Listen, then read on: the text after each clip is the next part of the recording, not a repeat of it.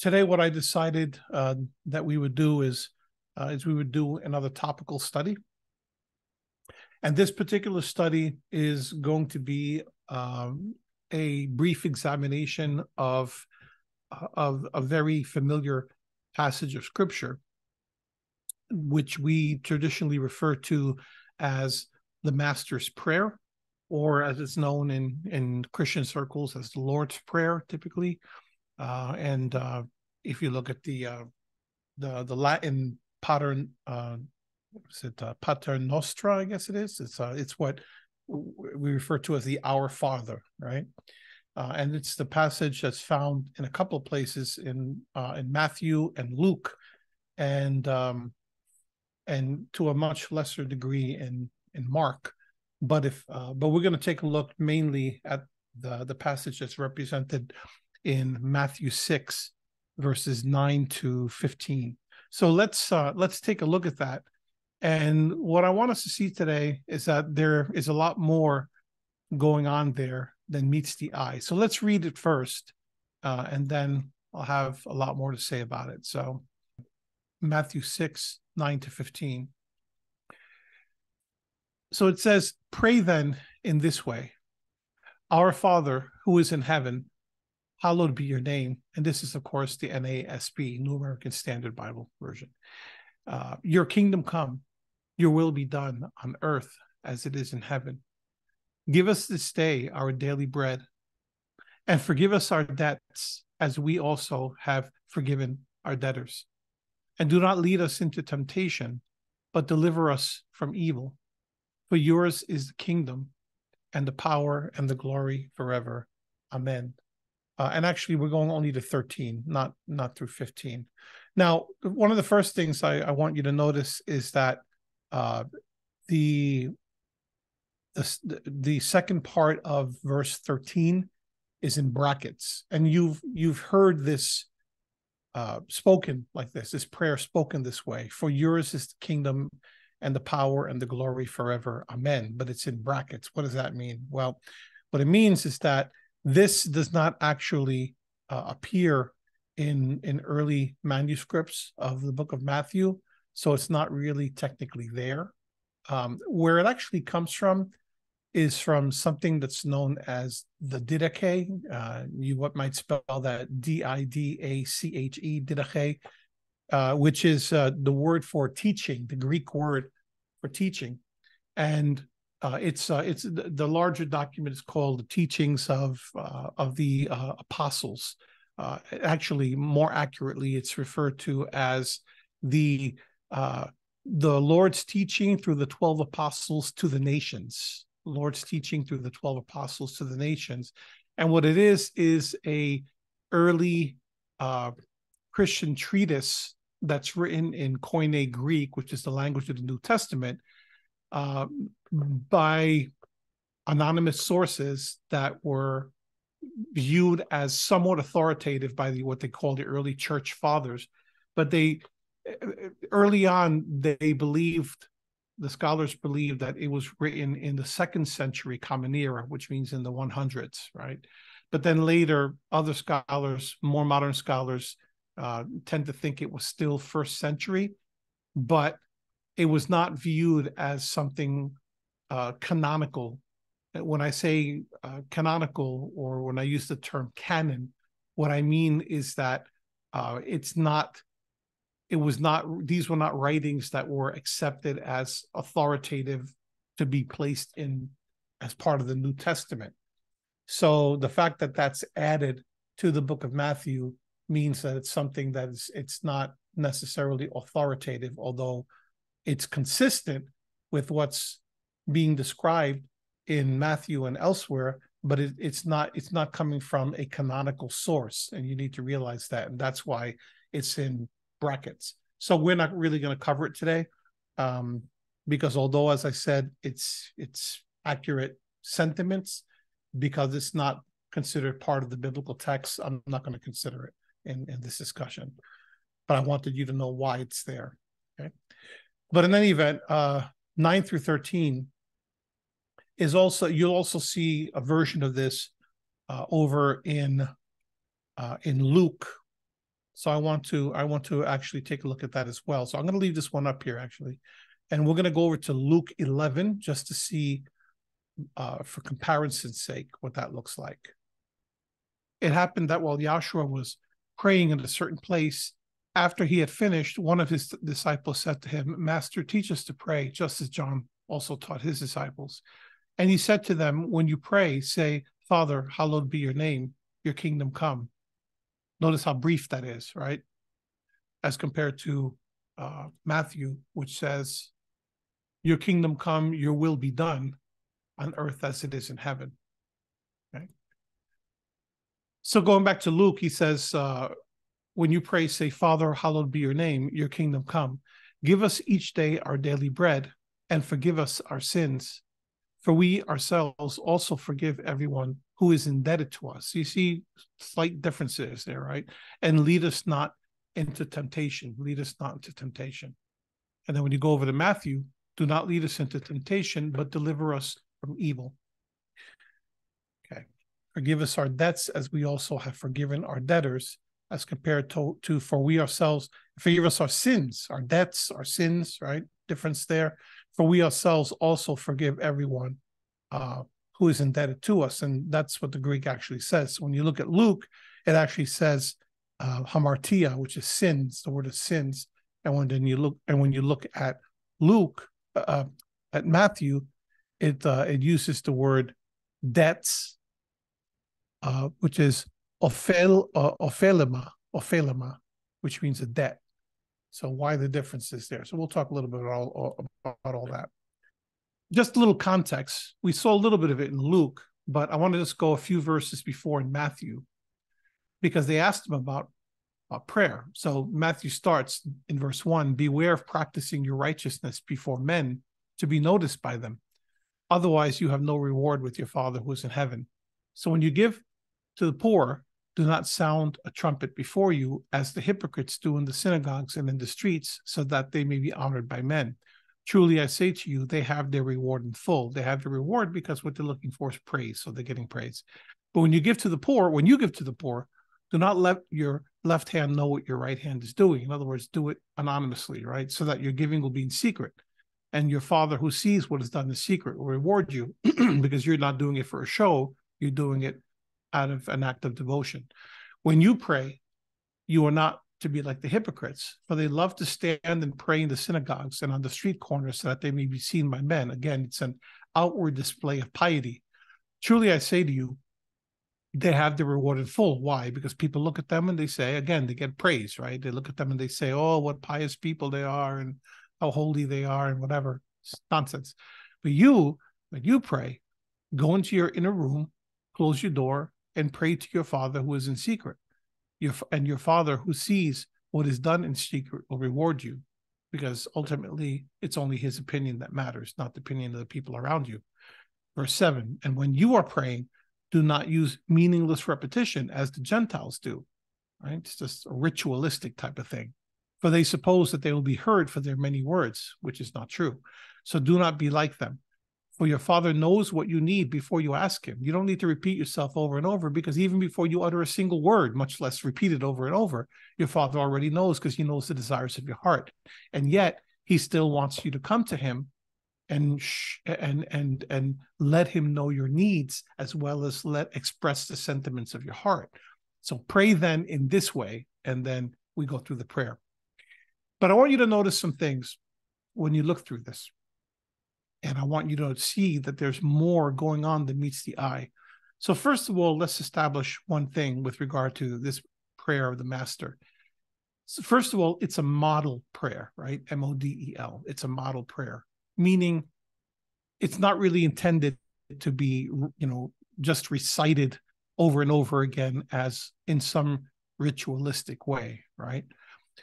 But it's even more than that it's not just that it's a model or an outline prayer. And sometimes people will say that. And that's something I've said in the past as well, is that it's an outline of the kind of things that you should pray for, the kind of categories that are important. Well, yes, it is that, but it's more than that. It's more than just an outline. Okay. Because what it's actually reflecting, it's it's reflecting Yahshua's inner prayer life. This is a very intimate prayer that we're seeing here. It's a very personal prayer that Yahshua is is uh, is showing us, and by extension, he's showing us how we could be like him, participating in that same intimacy with the Almighty, with the Father, right? And he uses the term Father, which is interesting because it's a term of, uh, it's an expression of, of, of intimacy, right? When you say Father, he doesn't say just to say, let me bring it back up on the screen. He doesn't say um, our Elohim who is in heaven, right? Which he could have said. He says our Father who is in heaven, the word in Greek is pater, and of course in in uh, in, in Hebrew it would have been uh, uh, av, and then in the Aramaic, if it were being spoken in the Aramaic, it would have been Abba, right? And we see later that Paul uses the term Abba twice, uh, in uh, once in Galatians chapter four and once in Galatians uh, and once in Romans chapter eight, and we'll take a look at that, those later in comparison to what we're seeing here. But Yahshua is giving his disciples who are interested in prayer, who are interested in the way that we should pray, he's giving them the sense of how they should offer their prayers to the Almighty in this outline model form. But there's much more going on here. Not only is it an intimate uh, expression that Yahshua himself lives his life by, right? And therefore, we would do well following our master, following in our master's footsteps as his disciples, to also by which we should also live our lives. But there's there's also much more that's being expressed here, and that's what I really want to focus on going through this today. And this this study will be uh, somewhat short because we have a lot of people out today. But I want, and I'll, I, it's possible I could do a much deeper study on this in the future because there's so much that can be said about this. But I just want to cover just a few things just to kind of whet your appetite and um, and give you a good sense of what's going on here. So, in addition to Yahshua giving us this intimate sense of prayer, he's also describing what he feels is important with regard to his ministry, his vocation, his calling. In other words, why is he here? So, if you want to understand the entirety of Yahshua's ministry, right? This is what you need right here because this is what's encapsulating everything that Yahshua was sent to do. Right? What do I mean by that? Well, if you look at something like this, you see, and you know, we're, we're recently we began a study of uh, of the book of Mark, and what we're going to see much of this, Yahweh willing, we're going to see much of this in, in much greater detail. Uh, but when you when you follow the the different things that Yahshua is saying here, you're going to see the things that are reflected throughout the gospels as being representative of his ministry right so i want to give you sort of a bird's eye view of it and kind of the you know and probably a lot higher than the birds right the 30,000 view i don't think the birds go that high but uh, so I, I don't want to mix my metaphors too much but i'm going to give you the the the flight view let's put it that way and then i want to go back and take a closer look at at each of these in, in turn. But let's take a look. So he says, pray then in this way. So what is prayer to begin with? Well, prayer is directed thought, right? It's uh it's it's it's almost like a thought download, but it's more than a thought download because a thought download tends to be just something you do with self-reflection where you're talking to yourself and you're just kind of putting out on paper what it is that you're or verbally what it is that you're feeling and what you're thinking. It's not so it's not exactly that. So the analogy breaks down a little bit because you're not just talking to yourself, you're actually talking to Yahweh, making your needs known. But it has a very similar effect in that you get it out of your head and you get it out into the open or on paper if you're writing it down. But most most of the time you're going to do this verbally or at least in your head, verbally in your head, where you're talking to Almighty Yahweh. But it's it's directed thought. It's expressed thought intimacy. It's it's expressed intimate feelings and thoughts that are brought out before almighty yahweh to offer him praise but also to to ask for for for our needs so when you look at each of the things that are that are being requested here you see quite an interesting uh, pattern here so he says pray in this way so the first thing he he does is he starts out with our father right our Father means something very specific. And we're going to take a look. I said, I want to go too, too deeply just yet. Let me just give you the, the flight view, and then we'll come back. But our Father is identifying the one to whom our prayer is directed, right? And that is obviously to Almighty Yahweh. But notice we're not saying Elohim necessarily. I mean, you can, right? Obviously, we pray all the time. We say oh, Almighty Yahweh. We say Heavenly Father, Elohim. Well, we say Elohim, and but sometimes we just say Father, right? So this is this is directing us in a way that we can have a, a great deal of intimacy with Him because you speak differently to your Father than you do to your King, right? So our Father, immediately, that's something special that we have to take a closer look at. And it's not just our Father, but it's our Father who is in heaven, right? So it's not our earthly Father, it's our Father who is in heaven. So the source is the one who is in heaven. That is where he is from. And it is an acknowledgement of Yahweh as our Father, because he's the only one that we know that is in heaven to whom we owe our worship and allegiance. And then it says, Hallowed be your name. The word hallowed is uh, the word which means to sanctify, right? Uh, hagiazo. So hagiazo is is the is a, is a term meaning sanctified. Be your name. Holy is your name. It has it's related to the to the term for holiness. So why is there an acknowledgement of Yahweh's name being holy? Well, we'll see. Then it talks about your kingdom come. You will be done on earth as it is in heaven. Yahshua's central message, as I've been hammering on for literally years now, his central message is that of the kingdom, right? So Yahshua's eschatology, which is the end time, you know, the the the study of the end times or the end time message, is a message. It's a kingdom shaped eschatology, right? And more specifically, it's it's what scholars might refer to as inaugurated eschatology. What does inaugurated eschatology means? Well, inaugurated, you think of in the United States, every four years, we have an inauguration, right? Inauguration day. That's the day that the president is installed, the new president is installed into office. Okay. Well, to so, for something to be inaugurated means something that is is begun, right? So the concept of inaugurated, uh, the inaugurated kingdom is the concept that I've again been been really pressing on, which is the fact that the kingdom, beginning with Yahshua's death and ascension, resurrection, right? That began the rule of Yahshua, his inauguration, the inauguration of his kingdom. And we're only waiting now over for the course of 2000 plus years we're waiting for the final consummation of that kingdom on this earth. But Yahshua as at this very moment Yahshua is ruling. And how is he doing that? He's doing that through the work of his assembly on the earth. And it's a mop-up operation as I've described it where we are essentially doing our thing contrary to the forces of darkness showing Yahshua to the people on this earth witnessing to what his will is so that people can turn from the, the way that they're living and that they could give their allegiance to that king who is here right in the presence of his spirit. So it's not that he's far away and he's coming someday. Like people you know we we have that impression that the second coming means that he's going to he he's gone far far away and then all of a sudden now he's going to come. No he's he's there. He's right near us in the presence of his spirit.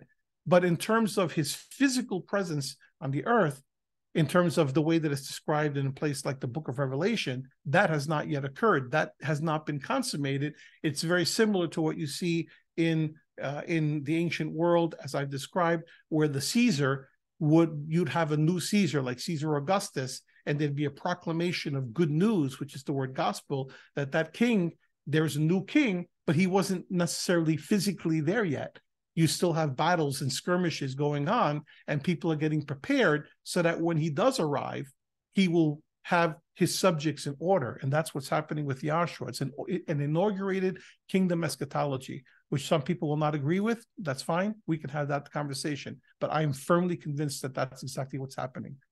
Your kingdom come, your will be done on earth as it is in heaven. So this is a kingdom shaped prayer. So the centrality of this is that the message of Yahshua that the kingdom is something that we want to proclaim anywhere and everywhere so that Yahweh's will over the course of time is going to be done here as it's already being done in heaven. It's also an acknowledgement that the cosmology of the Bible, in other words, the view of how the world and universe and the elements and everything work, is such that it is a it is a, a interlocking between heaven and earth. It's not heaven off way far away and earth over here. It's heaven and earth that have always been meant to be together as one unity that interlocked and intersect.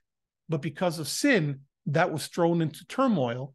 And the whole message, uh, not message, but the whole pattern of tabernacle worship and temple worship were given by Almighty Yahweh. That pattern was shown to Moses on the mount, and by extension came eventually through the scriptures to us, so that we could see the model of what the interlocking of heaven and earth look like.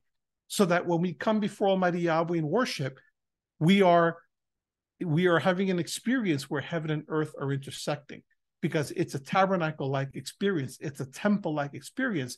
The current temple not being a temple made with hands, but the current temple being a temple that is Yahshua himself, the body of Messiah, right? That consists of Yahshua himself as the chief cornerstone, and every single one of us and all the believers throughout history to the present day as stones, living stones in that temple. Okay. And when you're in the temple, it's not like you're in heaven, you are in heaven because you are presenting yourself before Almighty Yahweh in an atmosphere in which heaven and earth have interlocked. Okay, and there's a lot more that could be said about that, but that's what what this is describing this intersectionality between heaven and earth.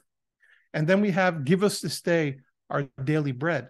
This is a recognition of our dependence on Almighty Yahweh for our spiritual and our temporal food. Okay. But there's more going on there as well. So we'll come back to that. And forgive us our debts as we also have forgiven our debtors. So the concept of forgiveness is a central feature to the kingdom message. We can't have a kingdom if there is no forgiveness. Forgiveness is, is key. When you think about what happened in the very beginning, it becomes clear, right? That we had a fallen world because Adam and Eve decided to go their own way instead of following what Yahweh had, had, had shown them. And only because of Yahweh's forgiveness, only because of his grace, only because he forgave them, because of the the the shed blood of that animal, which was representative ultimately of the shed blood of Yahshua the Messiah. And then that pattern became the pattern by which the Messiah would would restore humanity to Almighty Yahweh through forgiveness of sin that's central to the message. And because our master forgave sin, and you see that throughout the gospel message, because the master forgave sin, we also, as his followers, must also forgive sin because we're following in his footsteps. So it's central to the kingdom message. And then do not lead us into temptation, but deliver us from evil. So there are two things that are actually being described here that are somewhat related, and that is this concept of being led into temptation. The word is peirasmos, and the word peirasmos can be either temptation or test. Temptation is probably not the best terminology here, but more the concept of, of testing. And I'll describe that in greater detail. By the way, you know, the scripture says that Yahweh doesn't tempt us, right? We see that in the book of James. So it doesn't mean that Yahweh's tempting us, like all of a sudden he puts, you know, uh, a member of the opposite sex so that you you know so that you have lust. That that's yahweh doesn't do that. It doesn't play games like that. There is testing that yahweh will allow to mold and shape our character but this is something that's deeper than that. This is something that's more it's it's on a higher level than personal individual testing per se and we'll talk a little bit more about it but then there's also the concept of deliverance from evil and depending on the version that you're looking at that poneros. It's uh, it's it's either evil or the evil one. Some versions will say deliver us from the evil one. Well, I believe, based upon different things that I've read, that we're not just talking about the evil one, meaning Satan, although he is representative of one such evil. But I believe that the the Hebrew underpinnings to this is more the concept of from deliver us from all evil. Okay, it's like what you see over in uh, and let me see if I can find of which Satan is is part of that, right? Psalm uh, 121. Yahweh will protect you from all evil. He will keep your soul. He will Yahweh will guard your going out and your coming in from this time forth and ever. So it's more like this that Yahweh will protect you from all evil, from every form of evil, right?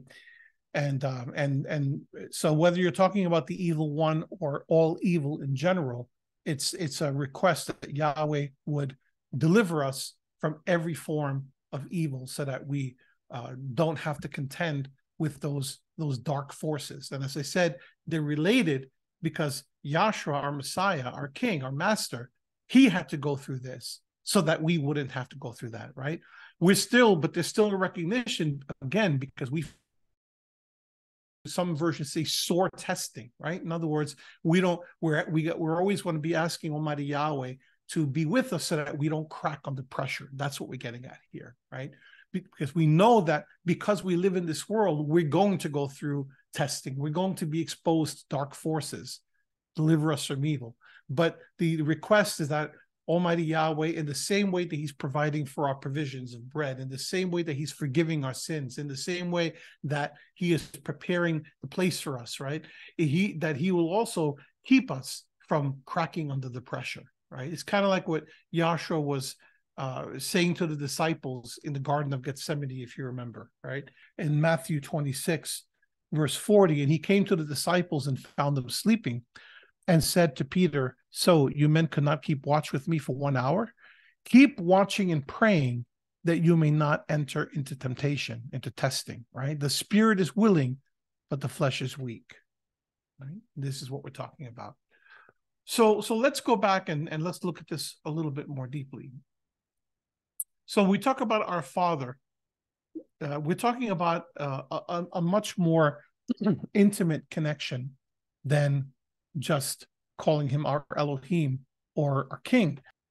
There's there there are also allusions to different things in the Scripture. So, uh, and and one of the things, let me just go back to the. By the way, can you see these different tabs? What I'm changing? Okay, so when you go back to Matthew, when you read through this this whole outline, all of these things have a parallel in the Exodus. Right? So when I say that there's more going on here than meets the eye, I mean it in a very deep sense, right? This is Exodus language. It's also temple language woven into there as well. But let's talk about the Exodus nature of it, right? Yahshua's ministry was the ministry of inauguration of a new Exodus. Hope we realize that. It's no longer, though, an Exodus, of course, from Egypt, from a physical Egypt, nation of Egypt, but the physical nation of Egypt exodus was the prototype of a greater exodus. An exodus from what? From what slavery? Right. And some people will buck against this concept because they say, well, you know, we're not in slavery, we're not in Egypt, we're not in Babylon anymore, in exile, whatever. No, but we're in a spiritual slavery because we are still under the effects of a foreign of, of, of being scattered among foreign nations that don't know Yahweh and forces and powers that are enslaving people in a similar way to the way in which Pharaoh enslaved uh, Israel in Egypt. That's why it's such a, a, a, a powerful motif. And the whole concept of the returning Messiah, or not the returning, but the, the coming Messiah in ancient Israel and in particular in the first century Common Era, when Yahshua made his appearance, is that everyone was waiting for Yahweh to return to Zion in accordance with what the prophets said. And when Yahweh returned to Zion, certain things would happen. He would throw off the yoke of the foreign oppressor, like the Romans, for example, and he would, you know, heal the sick, and he would, you know, and he would set aside the destructive forces of darkness, and he would inaugurate uh, a new a new land, a new a new earth, new creation. Well, because things didn't happen in the way that people thought that they would happen, then they rejected Yahshua as the Messiah. But what they failed to see is that everything is happening over the course of time in accordance with the plan, and in, in accordance with the plan that's very true to Scripture. And it wasn't going to happen overnight the way that they described it it was going to happen according to Yahweh's timetable and in his way. It's like every time that there was a uh, that someone came up with a, a concept about the kingship, about about kingdom, Yahshua said, "Well, it's not going to be that way. It's like this." So if you go to Matthew 13 and you have several parables, the kingdom of Yahweh is like this. The kingdom of Yahweh is like such and such. The kingdom of Yahweh is like so. Why did Yahshua have to give so much explanation in parables about the kingdom? Because people didn't understand what the kingdom was really going to be like. Because you had all these concepts of this warrior Messiah coming with violence to destroy and to kill. And, and that's not how the Messiah would come. The Messiah would come on a donkey, not on a charger for war, you see. So when you go even to the book of Revelation, you go looking in the future and you see the description of Yahshua coming on the on the white charger. In, in that description there, even that is symbolic metaphorical language I hate to burst bubbles, but that's what it is. It's not describing an actual violent attack of the Messiah upon this upon the forces of darkness, because it would be antithetical to what Yahshua taught all his ministry and in his words, which was love, the power of love, and not the power of violence. The way that Yahshua is going to is capture this world is through self-sacrifice, through self-sacrificial love. That's what he did, and that's what we're supposed to do as his followers as well.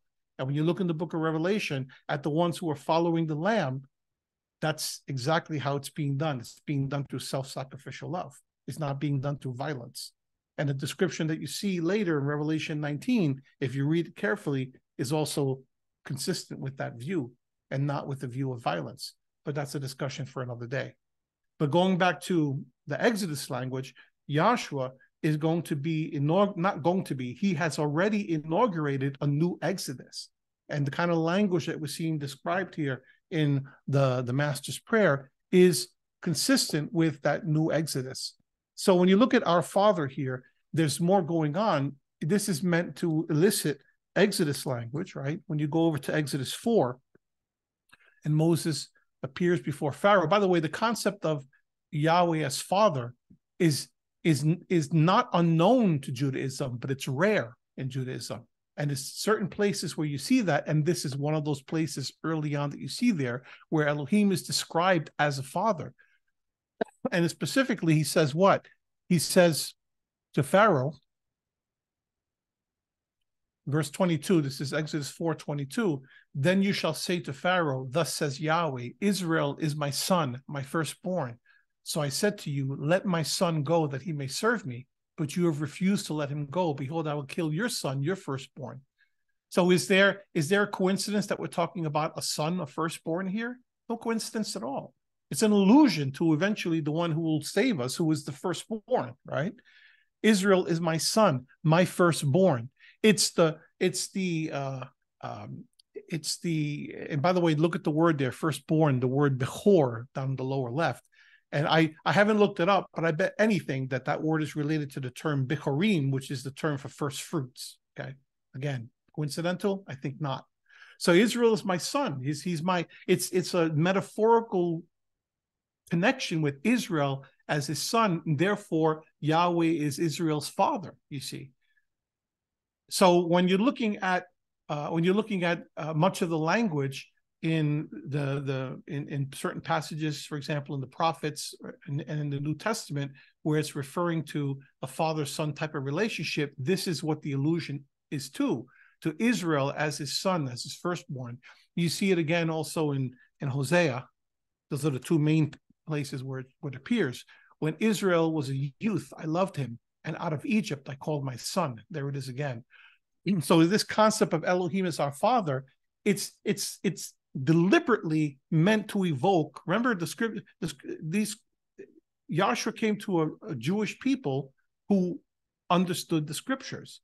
So when people read, when people heard that, and later when they read it as part of these accounts, they would have made a connection to Israel and out of Egypt I call my son. And there's a dual thing, right? Because we know that Yahshua was called out of Egypt as his son, but Yahshua is the representative of all of the sons of Israel, right? He's the suffering servant, but also the primary son among many sons because Israel in general is his son. So when you look at the the suffering servant described in Isaiah 53, people get heartburn over that because they say, well, that's describing Israel. It's not describing a Messiah. Well, it's describing both. Right? So I, I there was a time when I didn't even understand that. I thought that well, people are just not they're refusing to see. No, it's describing both. It's describing Israel as the as as suffering through the kind of things that they suffered over the years, but it's describing one. There's a language shift within there that describes one individual who is a representative of all of those people who have suffered, and there are certain things written in Isaiah 53, and the grammar the, the, and the grammar is such where it's referring to one person, but it's referring to that one person taking on all of that pain and suffering on behalf of the entire nation.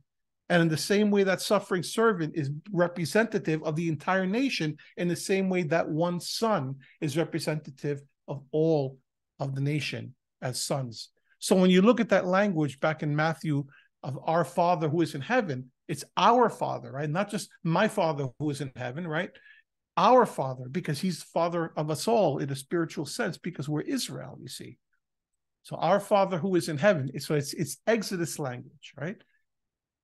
And notice that in both those passages, both in Exodus 4 and in Hosea 1, out of Egypt I called my son, right? It's an Exodus, you see. And that's what's being described here, because this is a new Exodus that's occurring an exodus not out of physical Egypt, but an exodus out of spiritual Egypt, which has gone by many names over the years, right? Whether it's Babylon and Rome, and in our day, where, wherever we find it, because it's not the nation, it's what the nation represents, which is which is the powers of darkness and evil. You see, the oppressive forces that enslave.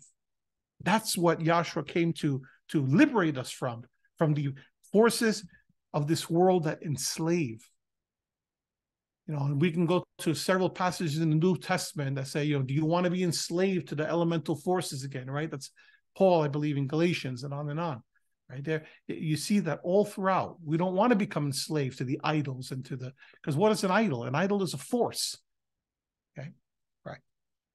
An idol is not a is not a let's let's change shift our thinking an idol is not a little wooden statue or a little metal statue, right? Yes, it is those things in a technical sense, but it's not those things itself. Those things represent a greater concept. And it's the greater concept that we have to be worried about. That's the real idol. It's not the little piece of wood and stone that's nothing that can be crumpled and, and, and torn apart and broken down, right? It's the thing behind that.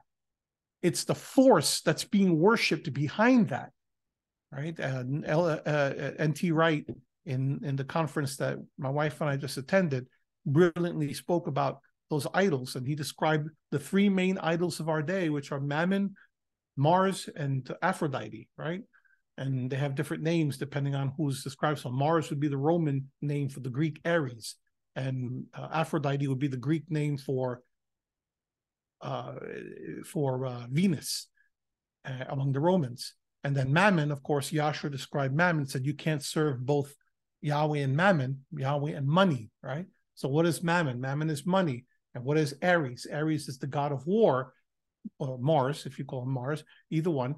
And but it's it's more than war. It's it's really the the the, the god of violence, of which war is the ultimate example, the ultimate intense example of violence, which is outright war. And then, of course, Aphrodite is the goddess of erotic love, which is the fact that people simply put worship sex, right? So sex, power, money, right? Because power is, is also violence, right? War. Those are the three major forces that, and there's nothing new under the sun, right? Those are the things that have been worshipped for thousands of years, right?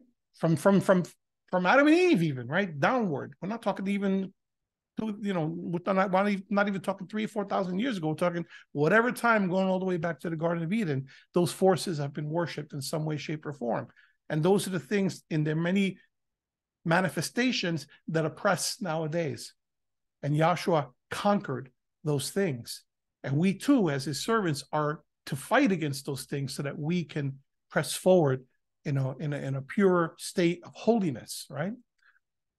So the idea of your hallowed be your name here is, uh, and I, I, I just went into detail about our Father, but who is in heaven.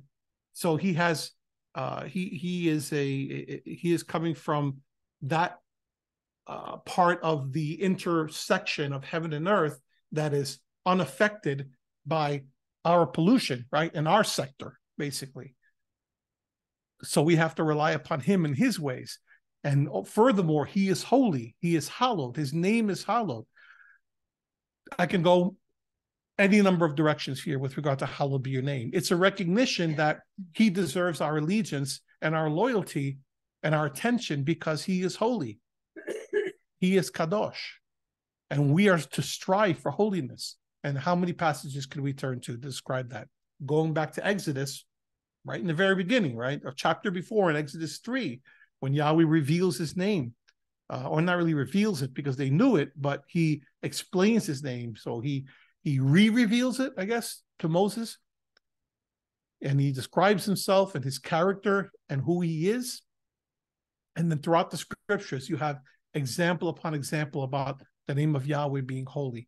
And in the New Testament, you see that as well. You don't see it quite as often in the New Testament, but it's there as well. And we could find many passages, I'm sure we could prove that. And I don't have the time to do that right now. But it's a description, it's an acknowledgement, maybe it's the word I'm looking for, that the one whom we serve, who is from heaven, that he is holy. His name is holy. Right. I'll give you one example in Yahshua's with Yahshua himself over in John 17, which is referred to as the high priestly prayer. So he's speaking to Yahweh. He says in verse 6, I have manifested, to manifest is to make known, to reveal. I have manifested your name to the men whom you gave me out of the world. They were yours and you gave them to me, right? And on and on.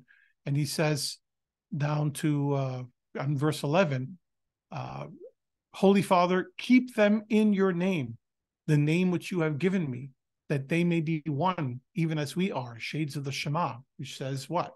Yahweh is our Elohim. Yahweh is one. While I was with them, I was keeping them in your name. What does that mean to keep them in your name? He was keeping them in the holiness of his name, which you have given me, and I guarded them, and not one of them perished, but the son of perdition. In other words, he kept them within the ownership of his name, right? Another place that you'll see this, and there's more that I could read there, you see it over in Revelation chapter 7, where it talks about the four angels at the corners of the earth that are ready to, to let judgment out. And then I saw another angel in verse 2 ascending from the rising of the sun, having the seal of the living Elohim. The seal is within the ring, so to speak, and the ring has an identifier.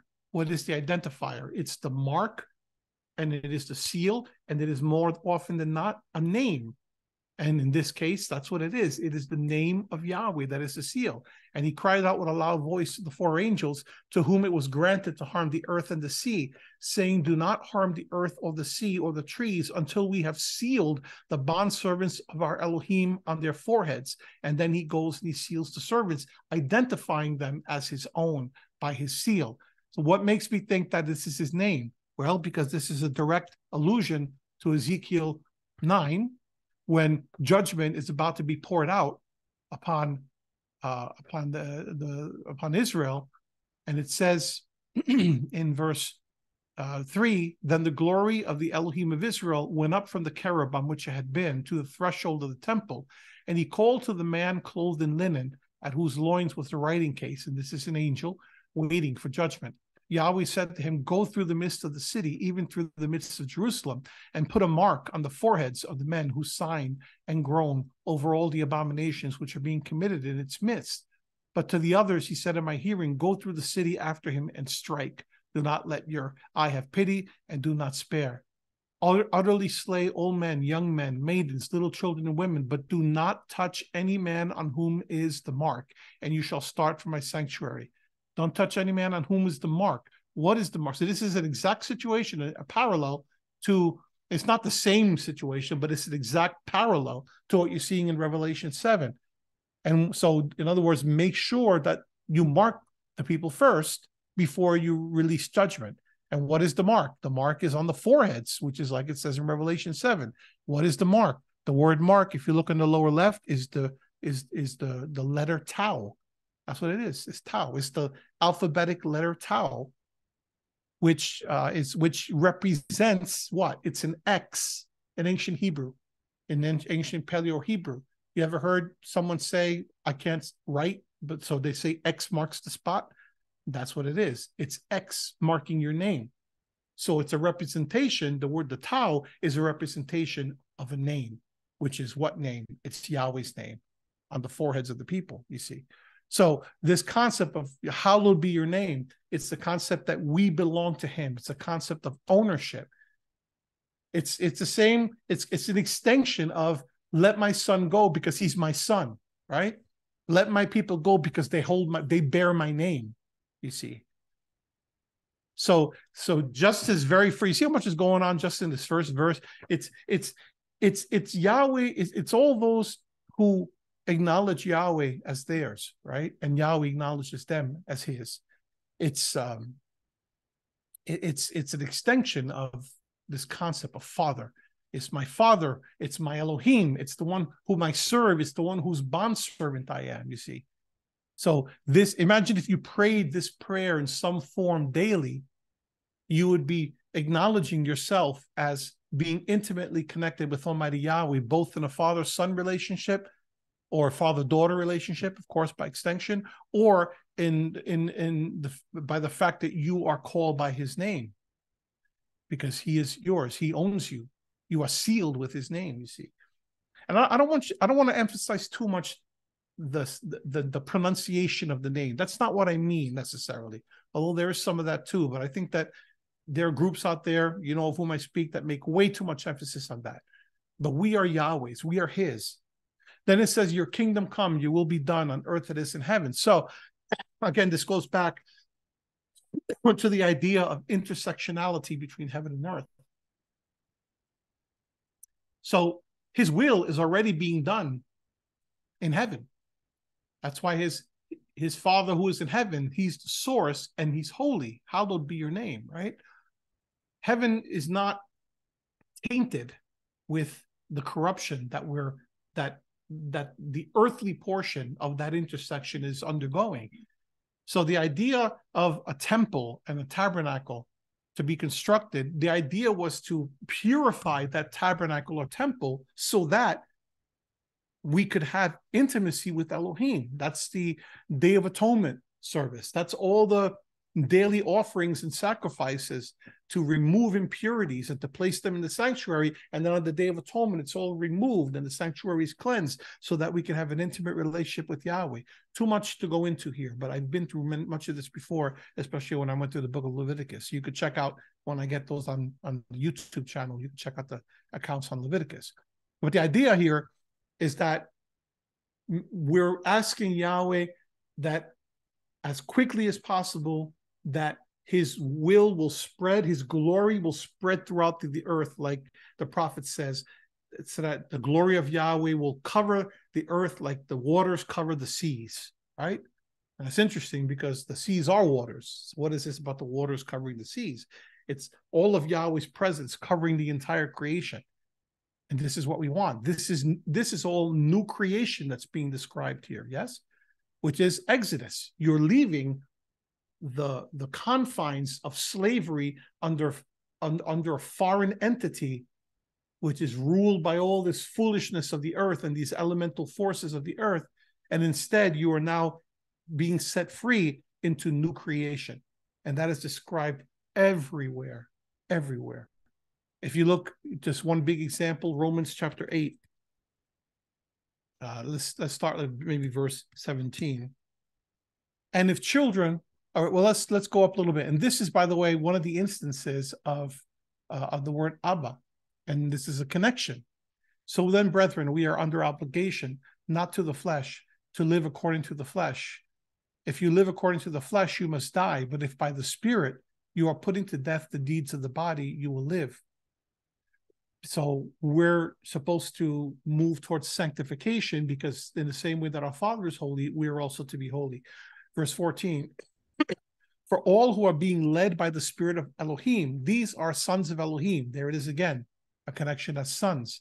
For you have not received the spirit of slavery, leading to fear again. So, what is being described there? Sons of Elohim, you're not received the spirit of slavery, leading to fear, but you have re- received the spirit of adoption as sons, by which we cry out, Abba, Father.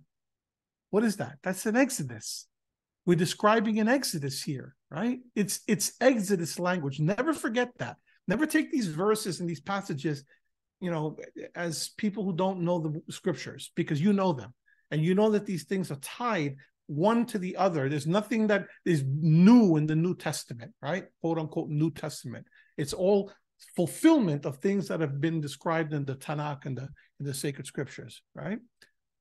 So for all who are being led by the Spirit, they're sons of Elohim. Israel is my son, right? For you have not received the spirit of slavery. You're not in slavery in Egypt.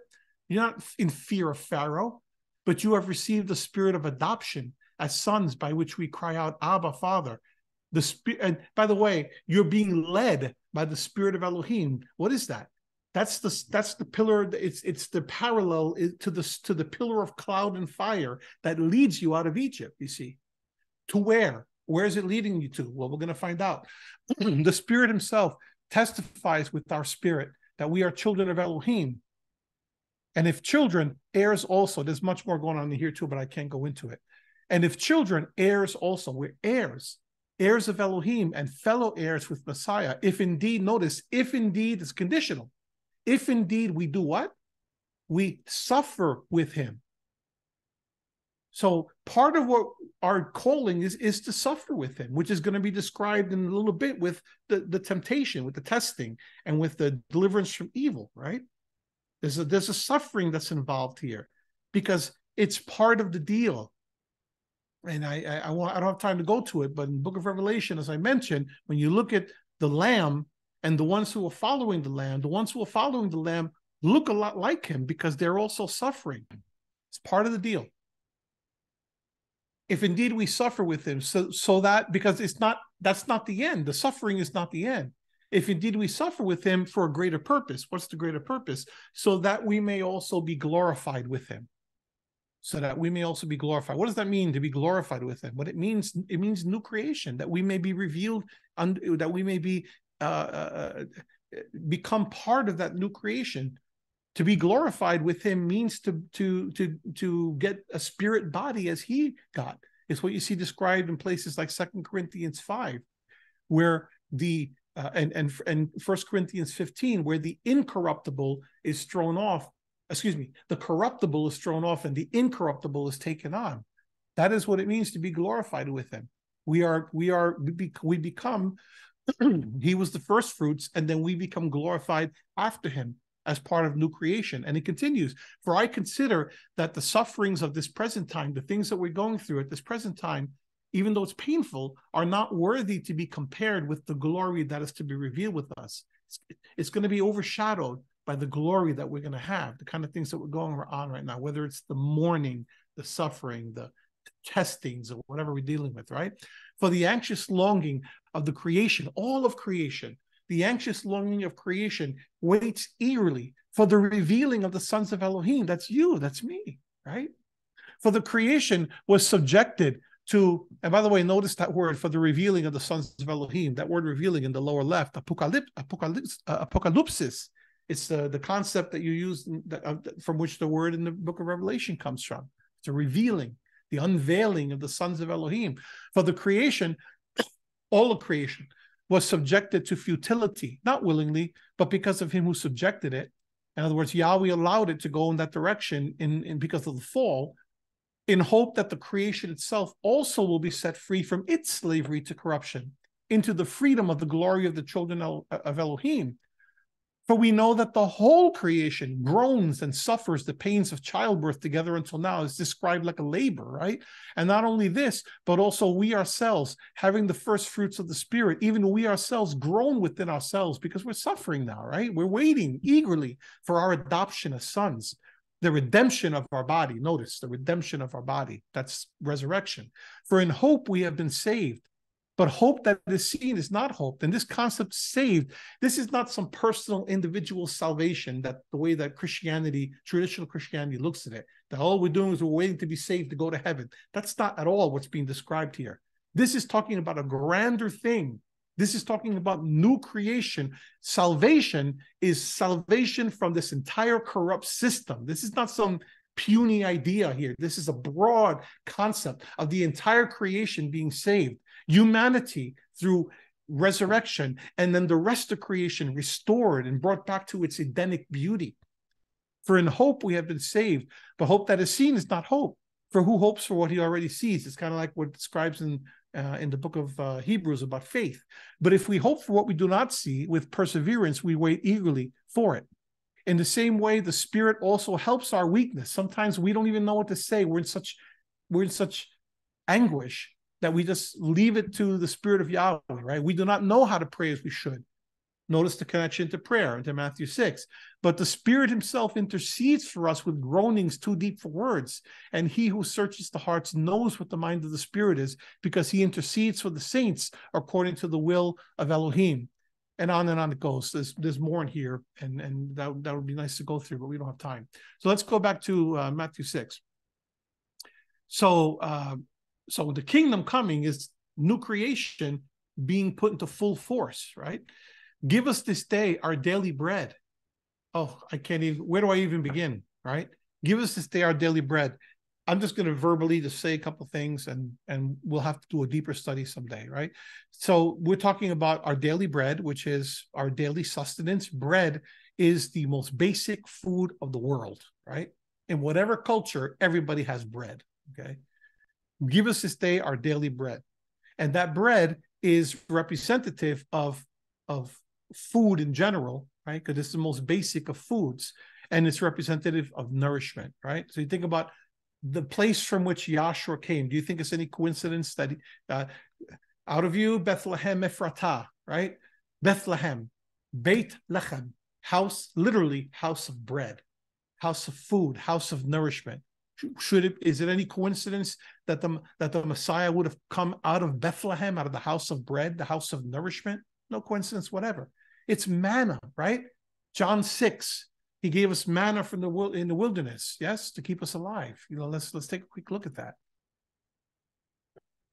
He said, and this this follows in the footsteps of the low one of the uh, situations of the the loaves and fishes. He's feeding people, you see, as a shepherd who loves them. And then when you continue in, in chapter six, a little bit further down, and by the way, notice this too in passing, John 6, 27. Do not work for the food which perishes, but for the food which endures to eternal life, which the Son of Man will give to you. For on him the Father Elohim has set his seal. You see that connection? And then let's go down here. Truly I say to you, it is not Moses who has given you the bread out of heaven, but it is my Father who gives you the true bread out of heaven. For the bread of Elohim is that which comes down out of heaven and gives life to the world. They said to him, Master, always give us this bread. And Yahshua said, I am the bread of life. He who comes to me will not hunger, and he who believes in me will never thirst. And he continues from that, right? Uh, talk, talking about bread. I am the bread that came down out of heaven, and on and on. I am the bread of life. Your fathers ate the manna in the wilderness and they died. This is the bread which comes down out of heaven, so that one may eat of it and not die. I am the living bread that came down out of heaven. If anyone eats of this bread, he will live forever. And the bread also, which I will give for the life of the world, is my flesh. So it's talking about his sacrifice, his resurrection. But but it's not just that. Some versions, right? So if you look at, you know, at Luke, it says, Give us each day our daily bread. Give us each day, give us day by day, which it doesn't say. It says, give us this day in Matthew. But Luke says, give us each day our daily bread. In other words, it's a provision. It's it's but Matthew refers to it as daily bread, meaning that it's given daily. When in the, the manna in the wilderness, what did Yahweh say to them? Do you remember? In Exodus, he said, Go out every day and collect it. And on the sixth day, collect double portion because of the Sabbath, none is going to be given. Why the Sabbath is nothing given? Because the Sabbath, you've arrived. It's the kingdom. You don't need bread. You're, you're with the Father on the kingdom, right? In the kingdom. This is what we know with hindsight, yes? But he told them in Exodus, and we're not going to turn back to it, Exodus 16, but he said, go out every day and collect the bread. You have to, you have to go for it, right? You, you have to want it collect the bread every day he gave them daily bread so whether it's it's it's uh, how luke is saying it give us uh, day by day each day you're going to get some or the way matthew says it give us this day so don't look for like Yahshua says later in the chapter. Don't worry about tomorrow. Worry about this day, right? So both of those meanings are acceptable, and both of those meanings are intended because they're in the separate accounts. Be asking for the bread to, from Almighty Yahweh every day because it's reliance upon Him every day. It's daily bread. He gives us that bread every day, and it's not just Yahshua, right? Which is of course, he's the bread of life. Yes, seek after Yahshua every day, but it's also your daily sustenance, your daily uh, provisions. Trust in Almighty Yahweh day by day to give you the provisions that you need, because He's the only one that can do that. And sufficient to the day is the evil of it. Don't worry about tomorrow, what you're going to eat or what you're going to drink or what you're going to clothe yourself with, right? He's going to give us the daily bread each day. And then forgive us, verse 12, our debts, as we also have forgiven our debtors. So, as I said, forgiveness is central to the message of the kingdom, because in the same way that, uh, in the same way that Adam and Eve fell, and forgiveness was required through the Messiah, we have forgiveness of sins. Right? It's the message of Day of Atonement. Yes, it's the message of the Passover and the days of unleavened bread. It's it's it's all throughout the scriptures. But it's not just us receiving forgiveness, but because we receive forgiveness, we also must forgive those who have wronged us. That's why you have the Matthew 18 process, right? That's why you have other passages of scripture that describe if you in the, in the Sermon on the Mount, if you uh, if you have a gift and you you remember that your brother has something against you, leave your gift and go and be reconciled first to your brother and then go and present the gift. In other words, you have to be right with other people before you can be right with Almighty Yahweh.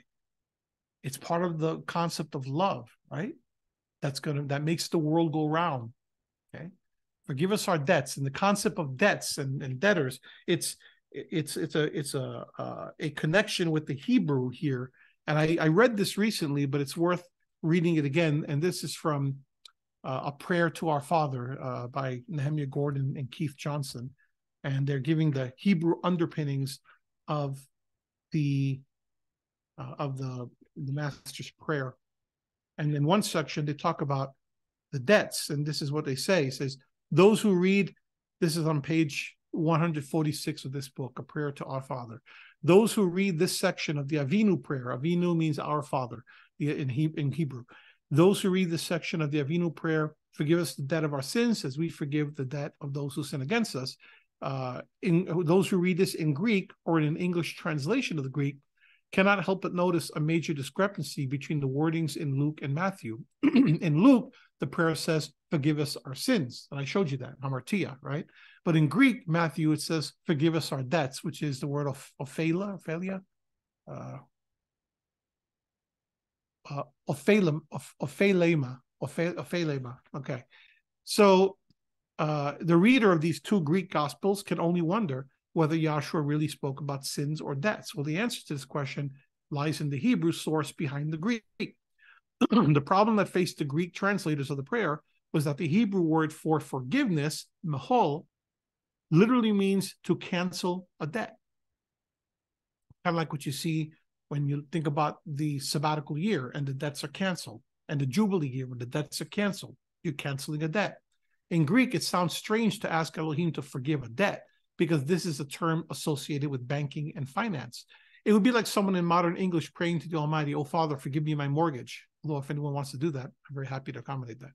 This is what it would have sounded like to the ancient Greeks when they heard a literal translation of Yahshua's Hebrew prayer.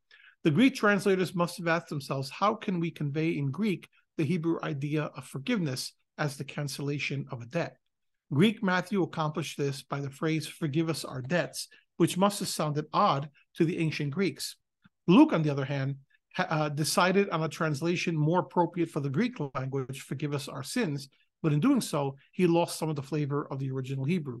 Without the Hebrew, he would have we would have to wonder which gospel authentically preserved the words of Yahshua. Well, I'm not so sure about that, but anyway, when in fact both Greek gospels are reasonable translations that approximate the Hebrew.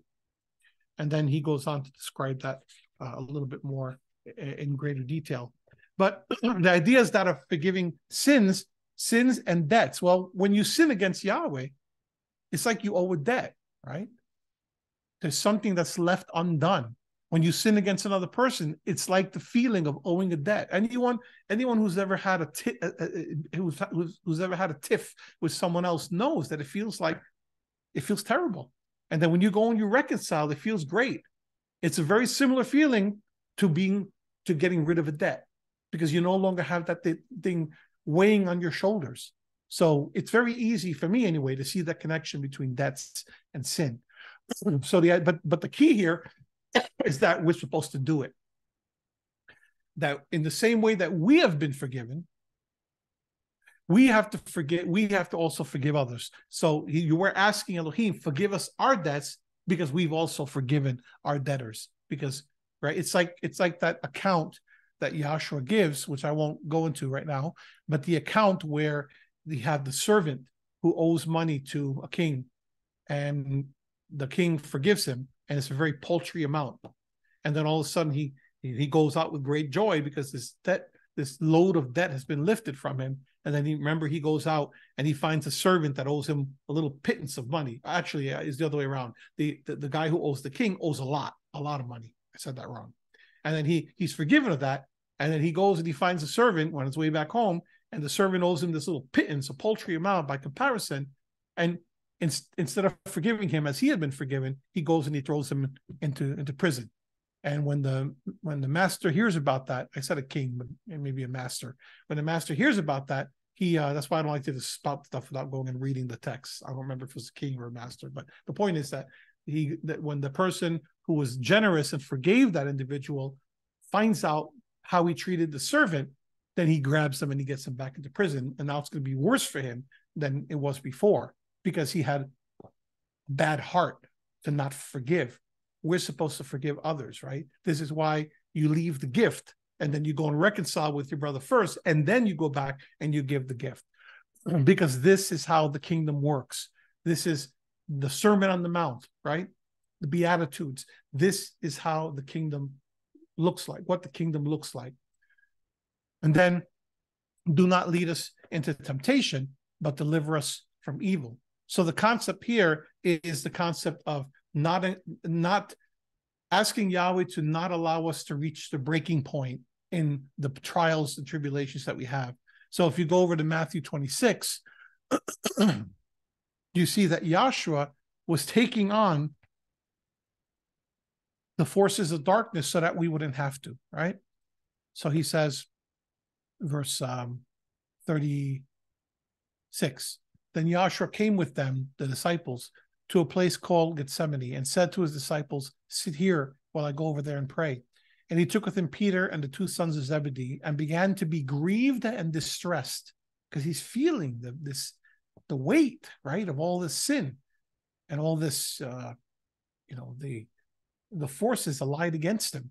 Then he said to them, My soul is deeply grieved to the point of death. Mm, that's very serious. Remain here and keep watch with me. And this is when he asked the Father, if it's possible, let this cup pass from me, but not yet as I will, but as you will. And then he goes back and finds them sleeping. And then he says, verse 41, keep watching and praying that you may not enter into temptation. And the word is the same, peirasmos, into testing. The spirit is willing, but the flesh is weak.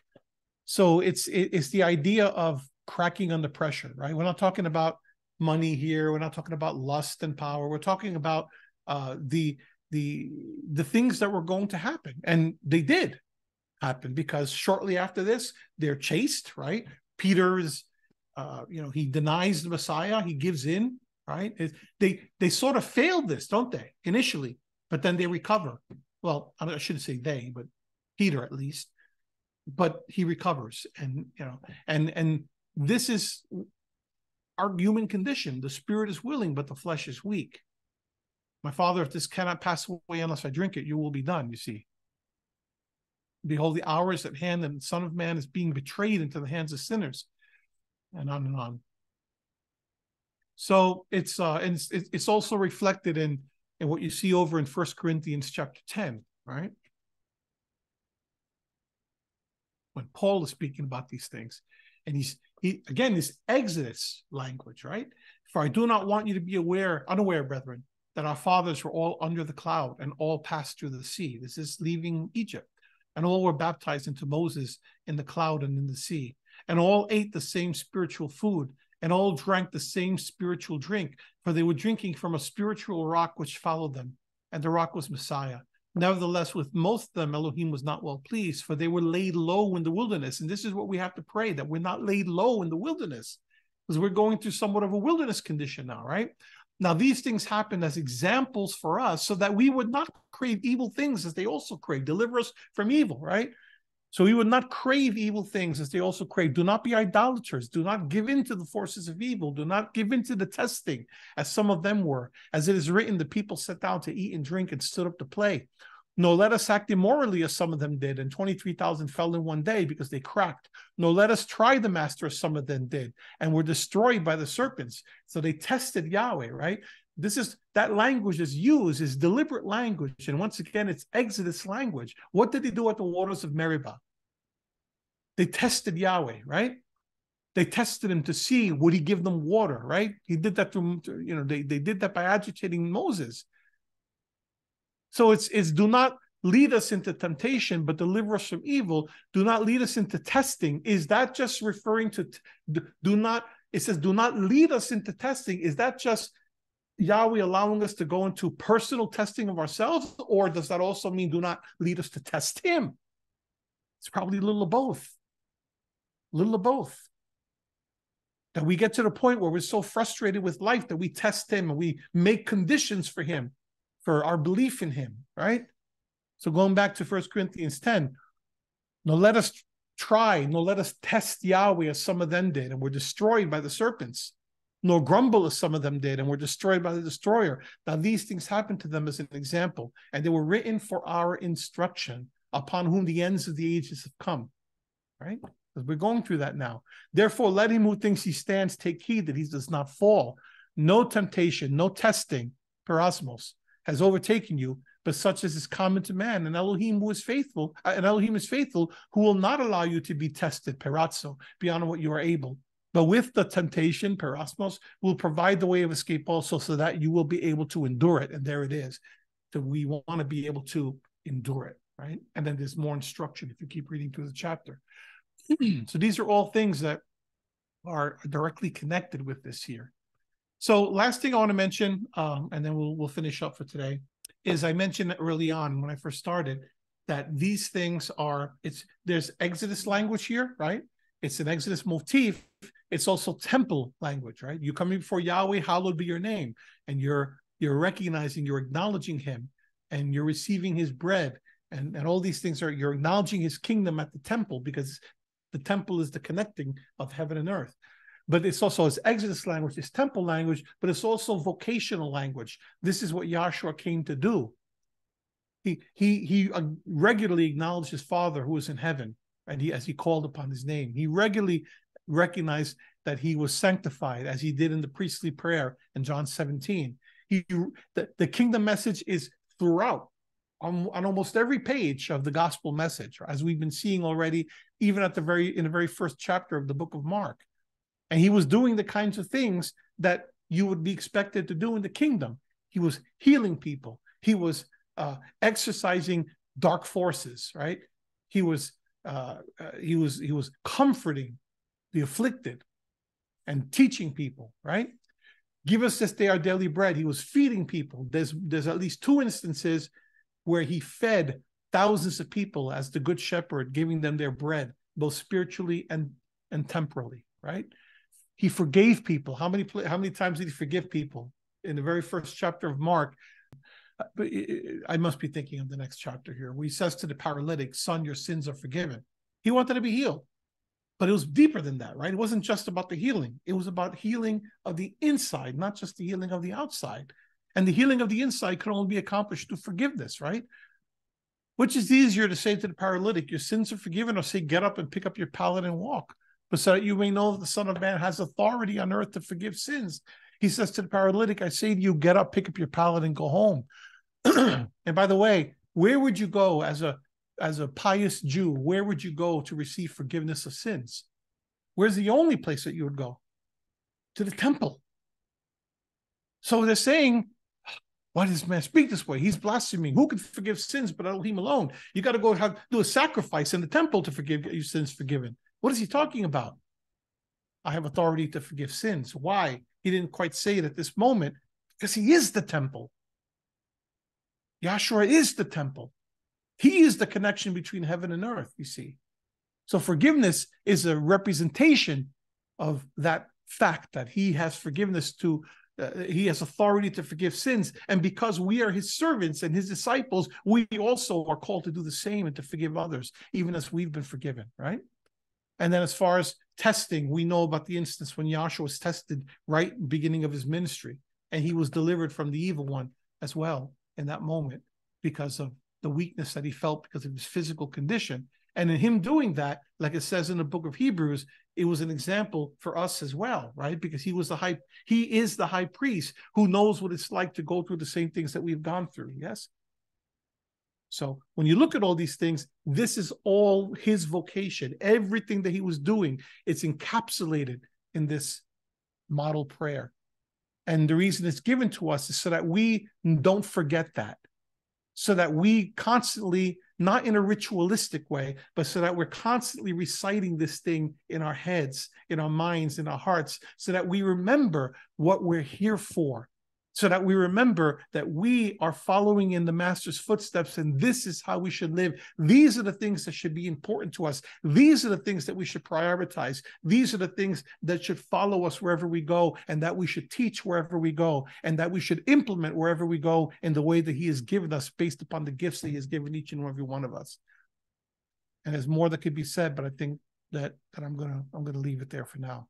The last thing I, well, the last thing I will say is that you can you can use this prayer again, not in a ritualistic sense, but I would encourage you to pray this prayer as a model to uh, certainly to memorize it. And many of us have memorized it already because we've been saying it from our from from our childhoods.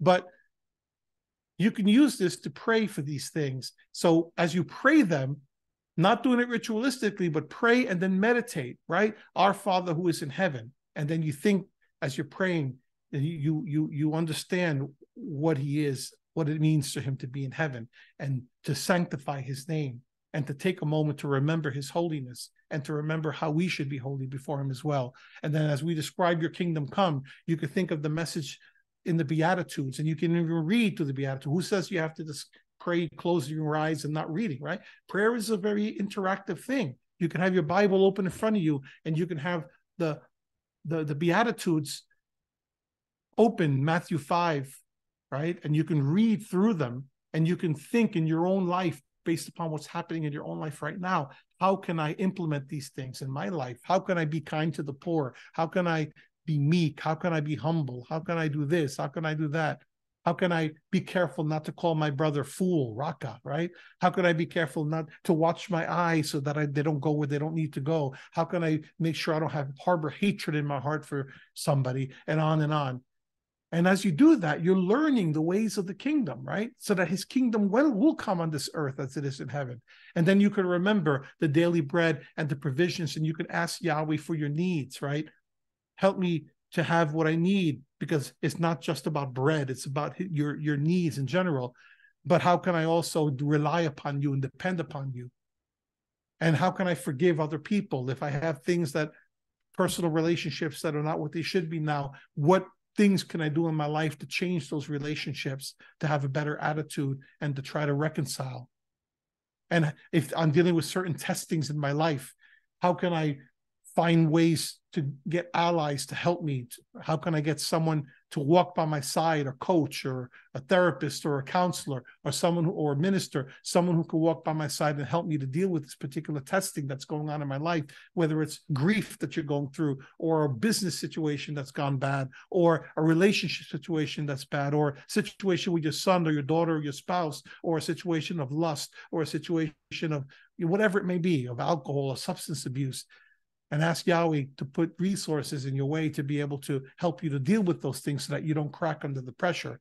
And asking Yahweh always to protect you from the forces of darkness so that because your master has already dealt with that, so that you don't have to deal with that and that you could turn it over to him. And if you pray that every day, every other day, once a week, how much better will your life be? How much stronger will you be mentally, spiritually? And then how can you help others also to uh, to to to to press ahead. So uh, that's where I will leave it today, and uh, I hope that's been uh, that's been helpful.